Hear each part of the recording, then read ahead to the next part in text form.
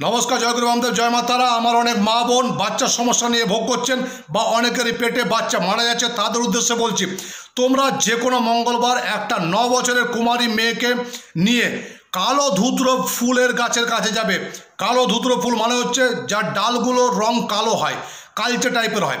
সেই ধুত্র ফুলের গাছের কাছে গিয়ে ন বছরের বাচ্চা মেয়েটিকে পূর্ব দিকে মুখ করে দাঁড় করাবে এবং তাকে বলবে, এক নিঃশ্বাসে গাছটাকে যেন উবড়ে দেয়।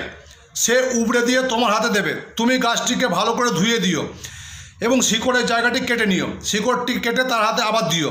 সে করবে কি? প্রধান যে মূলটি রয়েছে, যে মূলটি সোজাসুজি মাটির দিকে ঢুকে যাচ্ছে, সেইটিকে ন টুকরো করে কেটে নেবে। সেই ন টুকরোকে একটা লাল কারে মানে লাল ধাগায়, ন জায়গায় গিট বেঁধে দেবে। তারপর আবার তোমার হাতে সে দিয়ে দেবে। তুমি সেটিকে নিজের কোমরে ধারণ করে নিও। তারা মায়ের ইচ্ছায় তোমাদের যদি বাচ্চা পেটে মারা যাচ্ছিল, সে আর মরবে না, তোমাদের বাচ্চা